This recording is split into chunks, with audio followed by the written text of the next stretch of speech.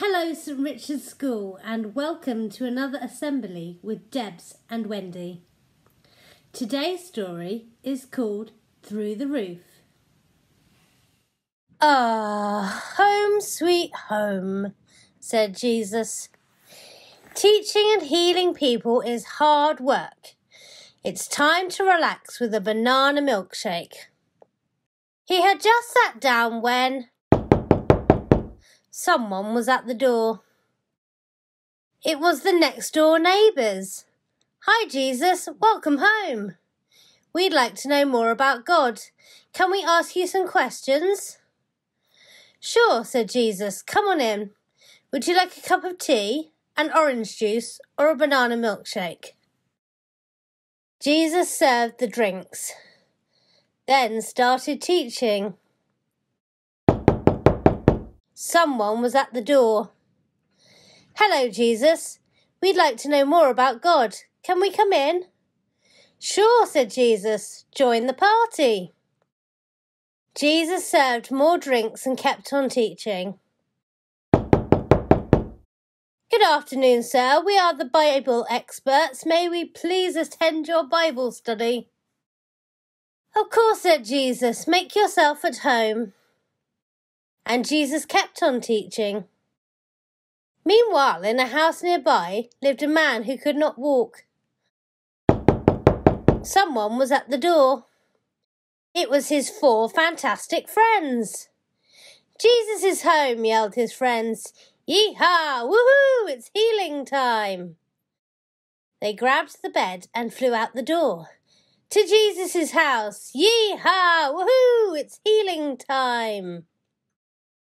When they got to Jesus' house, the place was packed with people.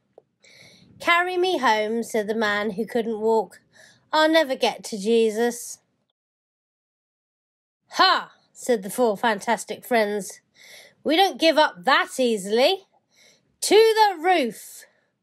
And up they climbed. Through the roof! And down they dug.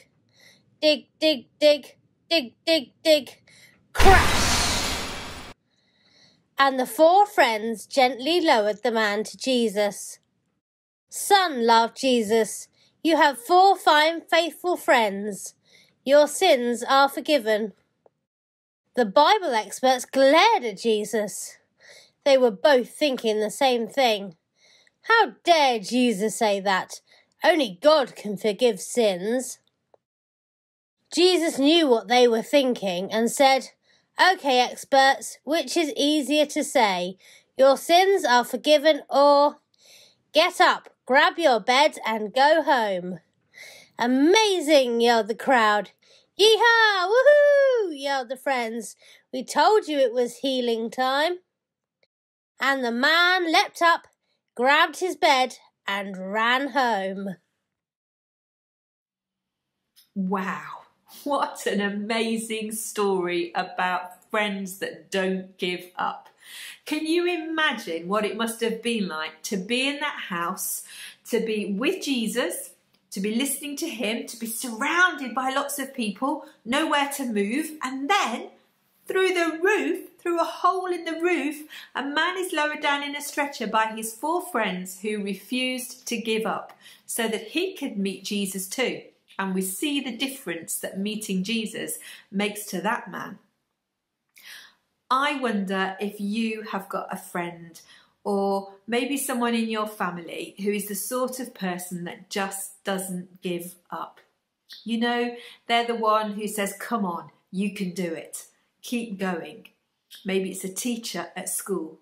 Maybe there's a friend that you know you can work really well with.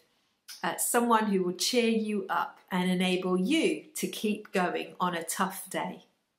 And here at St Richard's Church, we're friends that pray for you that you might meet Jesus too and see the difference that he makes in your life. So let me just say a little prayer now for you, whatever your day is like today, uh, that you might know that Jesus is with you. So, dear Jesus, thank you that you are with us, that you never give up on us. You are the best friend that anyone could have. And I pray for all the children now, for the whole community of St Richard's Primary School, part of our St Richard's family, that they will know those around them who care for them, who never give up on them, and are cheering them on all the way. In Jesus' name I pray. And if you want to and you agree with that, you can say Amen too. Remember, Amen.